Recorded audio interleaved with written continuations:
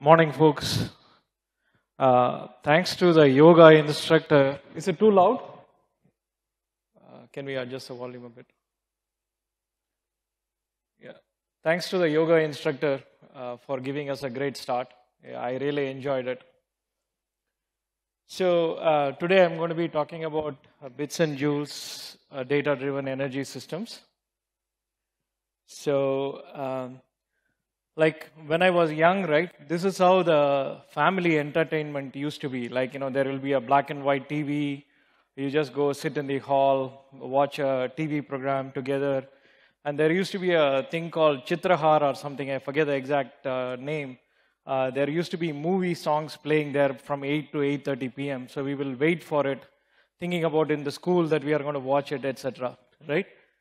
So now, when you see uh, the media has completely changed, there are so many options your cell phones, YouTube, uh, iPad, Facebook, whatnot, right? Uh, so, what has happened is the media has come, you know, moved from a centralized paradigm, you know, somebody generating content and sending it to people who passively consume, to uh, more like Facebook. Anybody can become a blogger, uh, you know vlogger, whatever, right? Does anyone know who this one is? This, this lady is? Uh, her name is Lilly Singh. She is from Canada and she's a YouTube star. She made like more than $7.5 million in producing content for YouTube and she has, you know, millions of subscribers on the channel, right? Think about the days where, you know, there used to be a Doordarshan and everything central to now anyone can be a content producer. The same thing is happening in the power grid, you know, from the centralized electricity generation to completely decentralized and more democratized.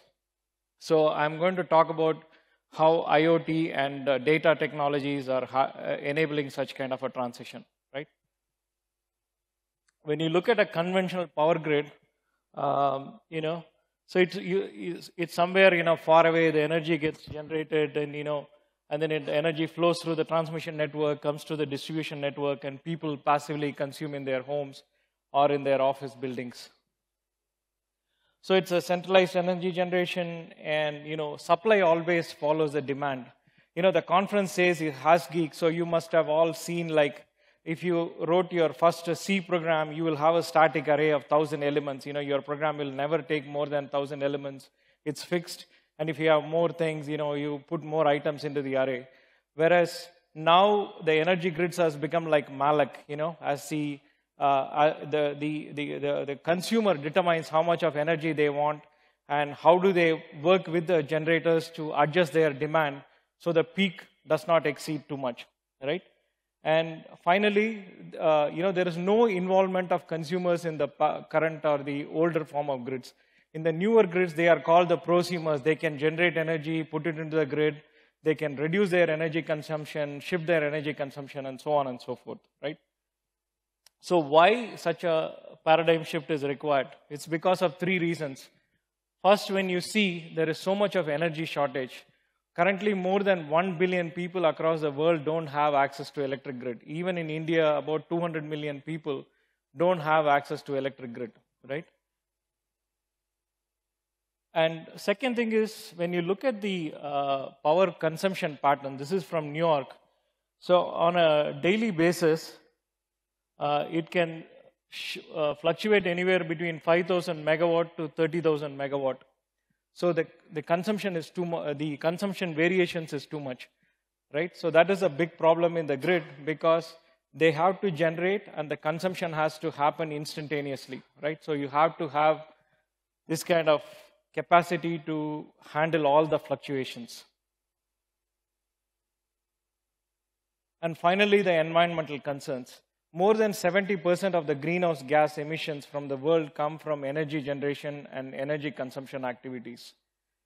So, given these three uh, important reasons, people are talking about decentralized grids. This is already happening. You know, so there are four main aspects of the decentralized grid. One is energy efficiency. You know, how do you actually use anything from LED lights, uh, more energy efficient refrigerators and air conditioners? How do you save your energy? In fact, you must have heard that even in the data centers, they have something called PUE, power utilization efficiency. Basically, the amount of energy that goes into computing versus the amount of energy that goes into cooling. They want to reduce the amount of energy that goes into cooling. I've been to a data center in uh, Sweden. Facebook has set up a data center in Sweden, in northern part of Sweden, because it's so close to Arctic and the wind is so cold. So you don't need to have any separate cooling or air conditioner there. So they, they save energy on that. Google pays like several tens of millions of dollars in just in electricity bills, right?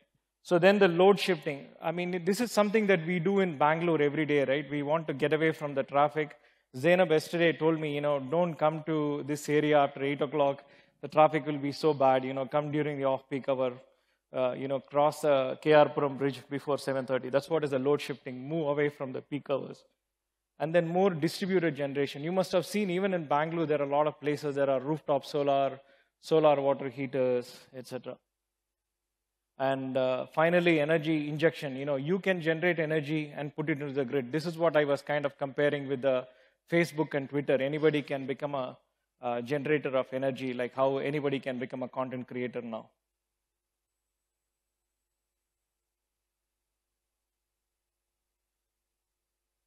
So I, am going to talk about two things, right? Uh, one is about the distributed generation, and second is about load shifting, right? This topic is so huge and so vast, and you know it'll take hours and days to complete it. So I'll just give two examples of how data-driven uh, systems are enabling this thing, right? The first one I will talk about is the solar plants. Uh, solar is a very beautiful energy source. First of all, it is clean. It doesn't have any moving parts since we are all software people, it's extremely modular and linearly scalable. You can put a 1 watt or even a 0.5 watt solar panel. You must have seen solar powered calculators to even like you know 50 megawatt, 100 megawatt of uh, solar plants. Right? In fact, in uh, which is about four hours drive from here, government is setting up like two gigawatt of solar plants. Right? So extremely scalable. It's quiet. When you look at wind turbines, they make a lot of noise, disturb the birds, etc. Whereas solar is quiet, solar is scalable. And the thing is, what has happened in when you go to uh, places in China, the pollution is so bad, so much of fog, and people celebrate if they see a blue sky there, right? As if it is Diwali or Christmas, they celebrate. Oh, today is clean. So the Chinese government put a mandate that you know we have to go towards solar. They gave a lot of subsidies to solar manufacturers and the solar panels have become so cheap and so efficient. Now the Indian panel manufacturers are pushing the government to take protectionist measures. They are asking the government to put extra duty on the Chinese panel manufacturer. They don't want the panels to come in. I, I think that is pathetic. You know, we have to improve the, improve the engineering quality instead of asking the government to put extra duty on the competitors so that you don't have competition, right? But what Chinese have done, it has done great thing to the world. It reduces pollution and gives us more energy. So when you look at the managing the solar plants, it's quite complicated because one megawatt of plant takes about five acres of land. Okay. And usually they are in very remote places because that's where the land prices are low. And you know, they usually take the fallow lands and it's extremely hot, right? There are no restrooms, nothing. I've been to these plants to set up our things you have to schedule your restroom visit. Otherwise, it's like four or five kilometers away. That's how bad it is, right? So it's very hard to find the site engineers to come and work there and you know to manage these plants. And there are a lot of things that can go wrong. Birds can come and you know drop on the panels. You know your uh, you know circuit uh, breakers can burn because of the extreme heat.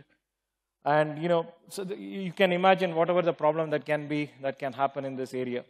So what we said is how do you uh, take data from these kind of environments and how do you help them manage uh, their plants efficiently so you get maximum amount of energy from those plants. So this is our, I mean, uh, I'm one of the co-founders of the company called DataGlen, which is focused on uh, solar plant management or renewable energy management in general. This is the overall architecture, right? You go, we go to a solar plant and we put a data logger, right? This is the uh, point where the IoT technology starts.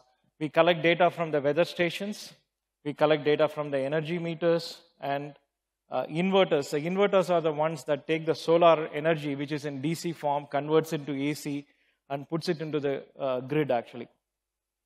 When you look at the solar uh, construction, what will happen is the solar panels will be connected in series like a, uh, you know, like a string. So that is called a string, like a, like a string of pearls is a string of panels. And those strings are connected in parallel to each other like an array. I mean, it's called an array of solar panels. And that goes to a SMU and the repeater and then inverter and it goes into the grid. So we collect data from all these components, when the strings, uh, from the inverters and all these things, and send the data to our cloud over HTTP REST platform, sorry, HTTP REST protocol or MQTT.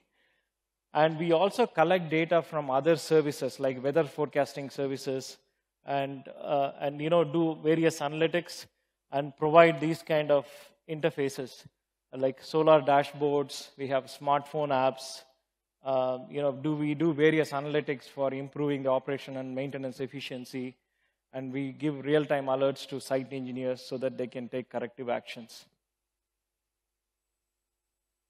So this is our solar dashboard. I will not go into details of this, but it gives you a very quick overview. Like there are companies like Greenko, Waaree, they have multiple plants. They want to see what is happening at their plants in different parts of India. They can come to this dashboard and see what is happening, how much energy is generating, how many places are down, and so on and so forth. So I just want to talk about a little bit about the various analysis that we do. So one is a spatio-temporal analysis. As I said, you know, the, the solar plants are huge and the, you know, all the equipment are distributed over vast spaces. So we do spatio-temporal analysis. How, how is the each string generating? How, how does it compare with the other strings? How does the performance compare with the other panels? Is there any substantial reduction in output? You know, is there variations in the output, etc. So one of the analysis we found was one particular string was producing less um, at uh, you know three o'clock in the evening and again around 9:30 in the morning actually every day consistently for the first six months of the year. So what we found out is that there is a handrail because it's a roof-mounted solar uh, uh, plant. So there is a handrail to go up and clean the panels, etc. That handrail was casting a shadow on the, in the morning on this side of the panels, and then the, uh, in the evening on the other side of the panels. So that was causing the heat, and the, the panels were getting damaged. So using the spatiotemporal analysis, we could find out, you know, what is the problem. And we could not exactly say that because of the handrail, but we could identify what the problem was. The site engineer can go and inspect at a particular point. Otherwise, they would have never caught that this is happening until they see the data. So, and also different root causes. As I said, in a solar plant, there are various factors that affect the performance of the, uh, the plant. It could be the amount of sunlight that is falling there, the amount of humidity, whether modules are getting too hot, um, or you know the ambient heat is too much, so on and so forth. So we do like a correlation analysis to find out what are the idea. Uh, so, so when you look at it, you know there is a lot of fluctuations in the uh, the demand, as I already told you, right? So one of the problem that happens is how do you maintain the uh, equipment to handle the peak loads, right? So when you see this 1980 uh, in New England, the top capacity, like let's say if you have a six lane highway in your uh, freeway, the one lane gets used for like one hour of the year or you know two hours of the year, but you have to put enough money to construct such huge freeways.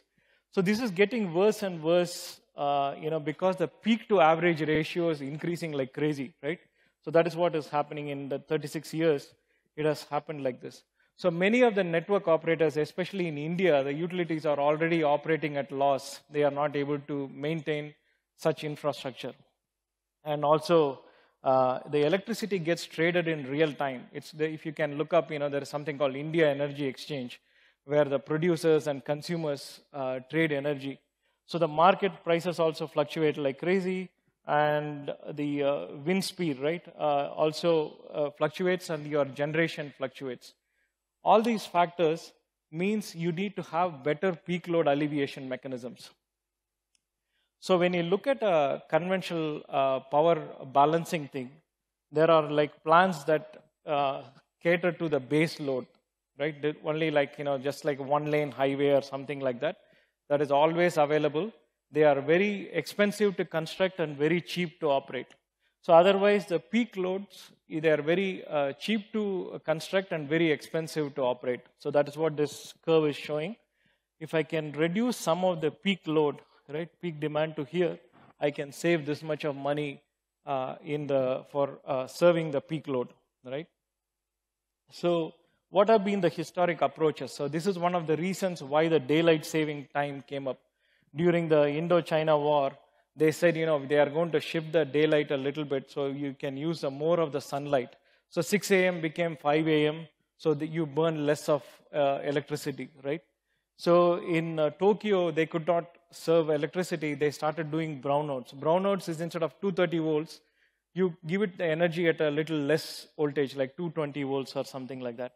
In California, they started doing rolling blackout during the Enron scandal. You know, they had so much of energy shortage.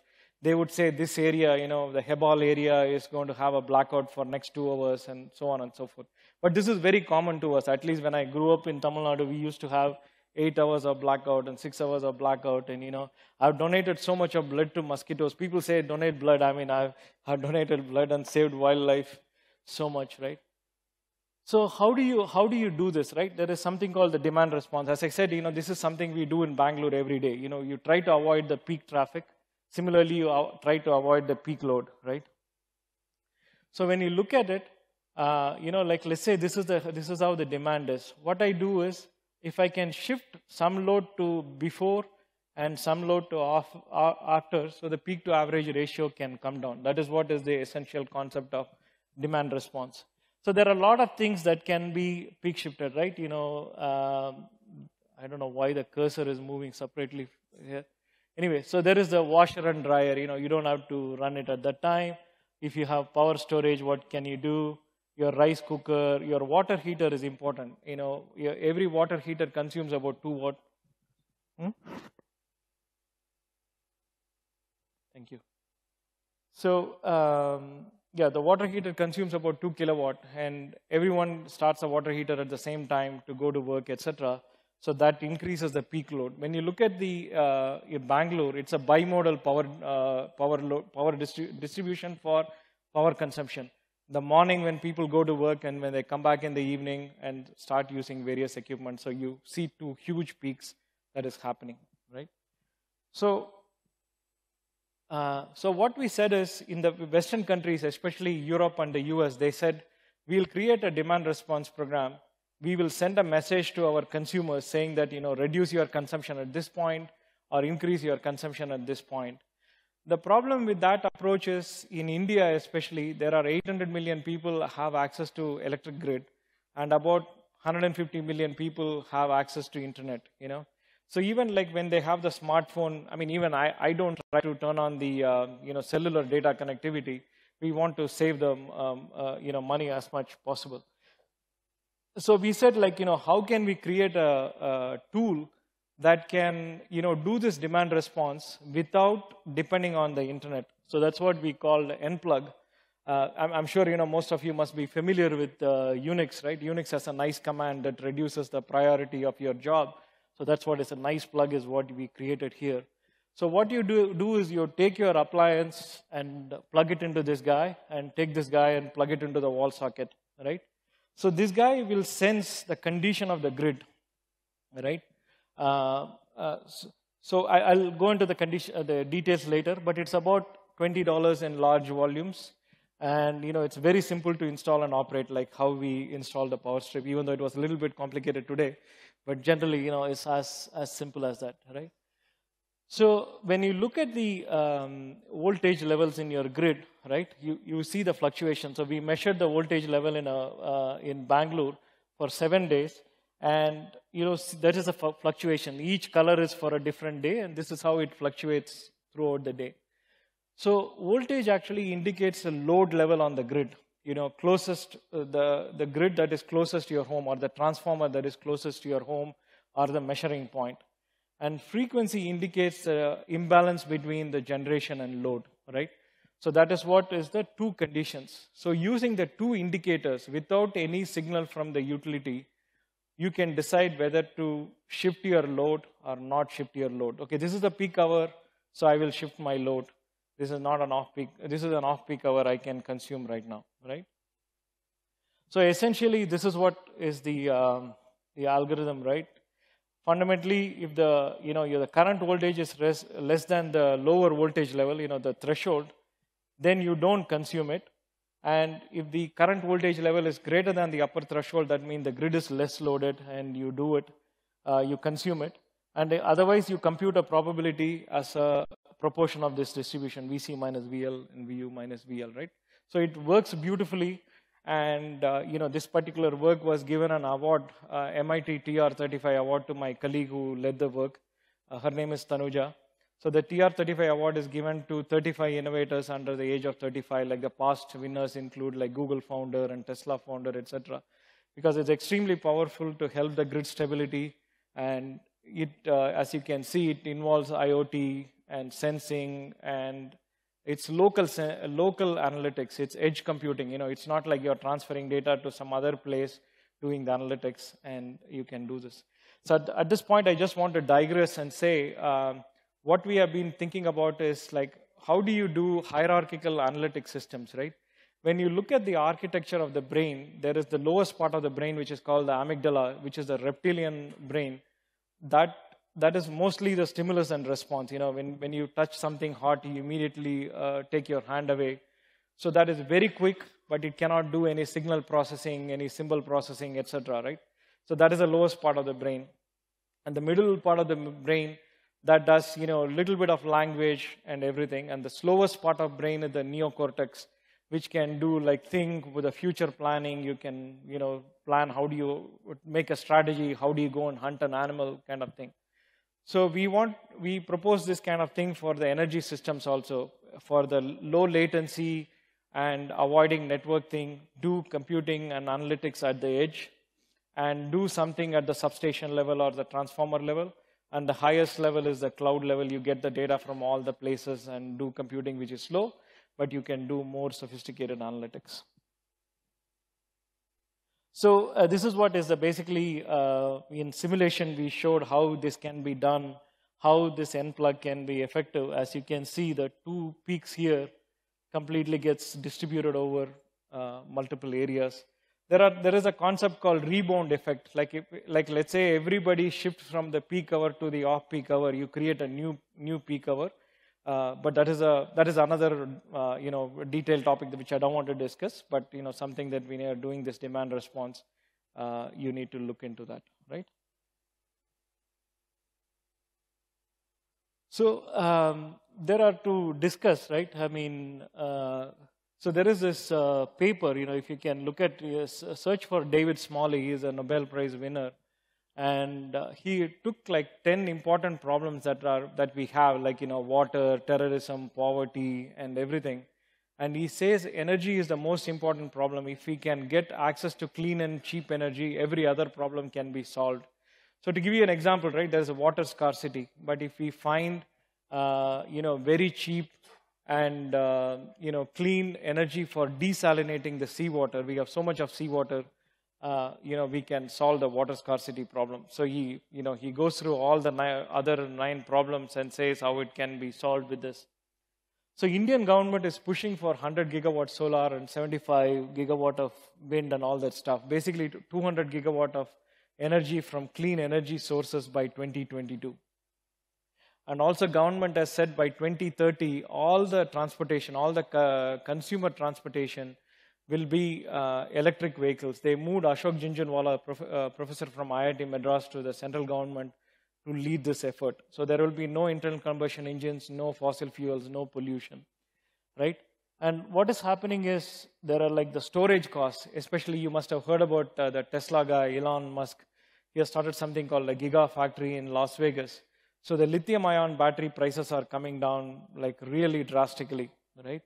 And for instance, recently the government is working on uh, shifting the Andaman Nicobar Islands. The only source of electricity there is diesel.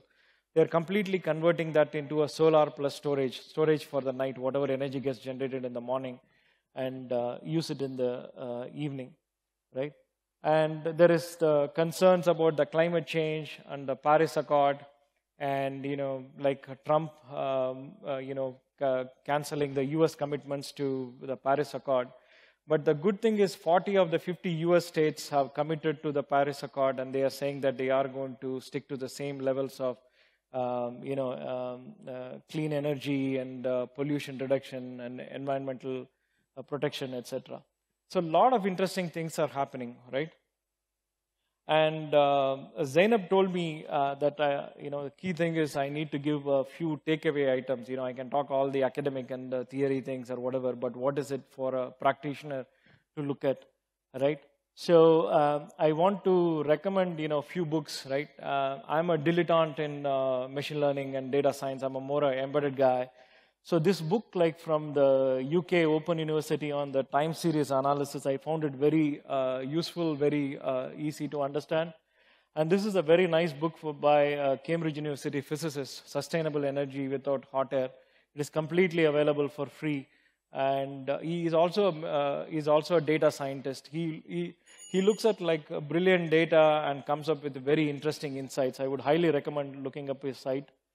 Uh, there are public data sets for you to look at, you know, REDD data set. They've taken data from multiple homes at minute level granularity. And NIWE is the National Institute of Wind Energy. They have published a lot of data. And um, uh, Indian Meteorological Department publishes a lot of weather data. So you can look at all these things. You can do analytics. You can do what you can do. And finally, if you want to do um, any kind of do it yourself, you know, you can buy um, energy meters to find out what your consumption is.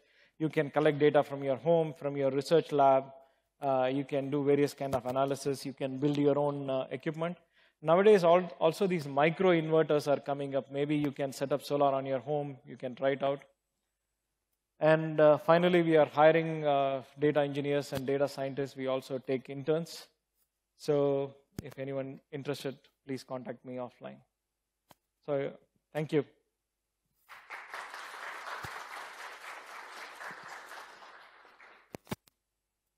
We'll take questions.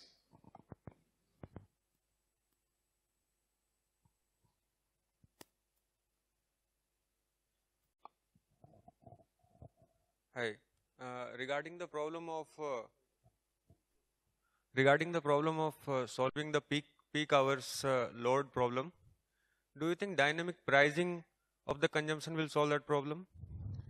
Yeah, yes and no. Uh, so the dynamic pricing is already there, right? There are uh, two issues actually. One is the there are government regulations. They don't want to expose uh, expose the consumers to the fluctuation in the real-time price markets. And second thing is, um, by the time you take a decision for the price, the condition could have already changed because, as I said, right, things are changing at the uh, speed of light. So either you have to have a time of use pricing, which is already um, implemented. Say, for instance, in Tamil Nadu, uh, the peak hours between 6 p.m. and 10 p.m., the electricity price is 1 rupee per kilowatt hour more. That is, a, what is that? I mean, uh, 20% more for that time. So that they do it but still you don't get this kind of smooth level of uh, peak reduction. So there are companies, what they do is there, are, there is a company called EnerNOC, Entelios. What they do is they talk to the industries and they say that, okay, if we send you a signal, you reduce your energy consumption at that time, we will give you financial incentives for that. So that kind of mechanisms are also existing. There are various things, peak load reduction credits, CPP, which is a critical peak pricing, and so on and so forth this side.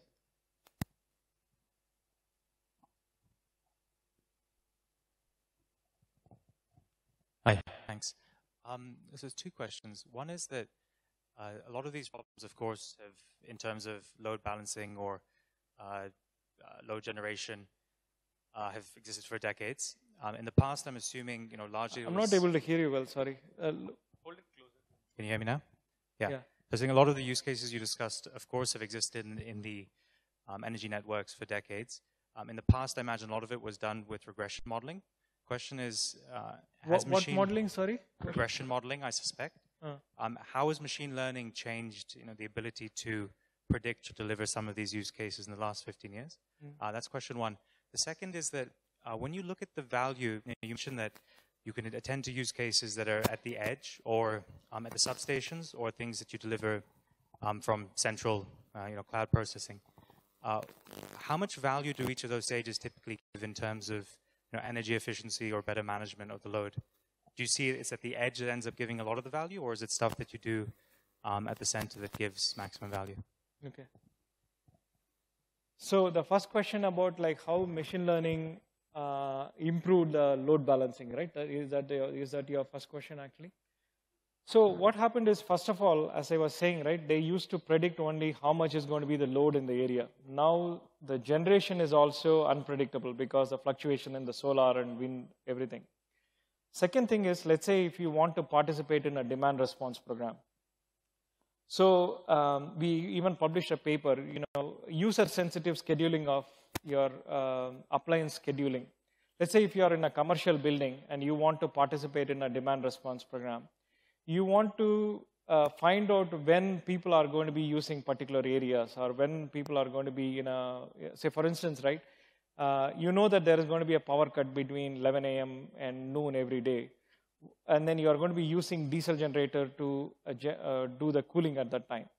When, when you are using diesel generator, uh, it costs about 20 rupees per kilowatt hour because you get like three, lit, uh, three units of energy per liter of diesel so each unit becomes about 20 rupees.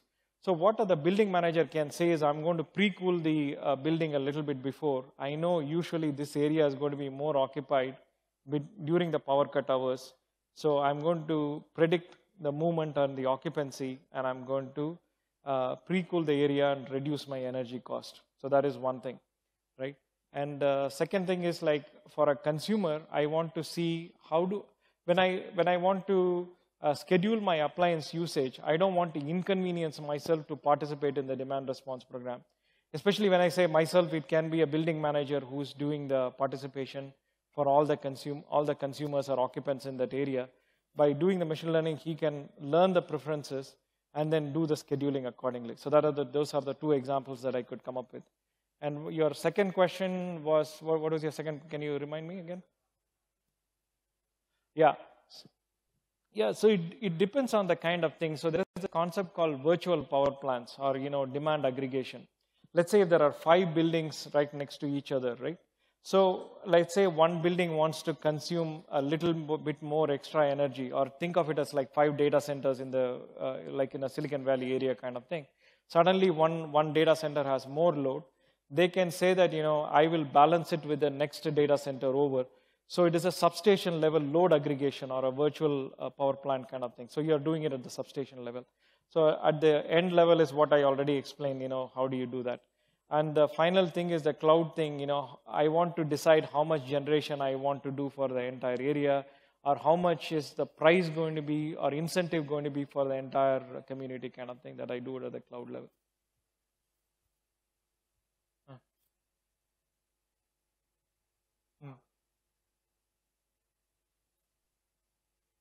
I, I don't know the answer to the question actually.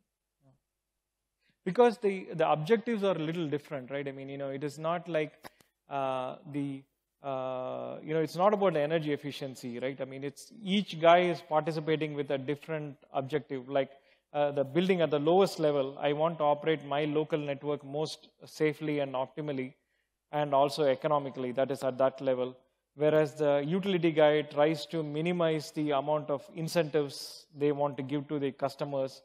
And whereas in the, it is like when the two customers are uh, cooperating and reducing the demand together, it becomes statistical division multiplex US and put it here, right? I mean, the radio clock counts the uh, 60 hertz in the US or 50 hertz in India.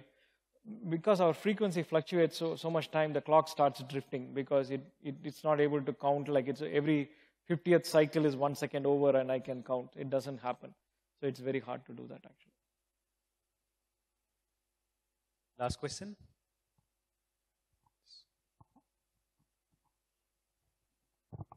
Hi, uh, nice talk.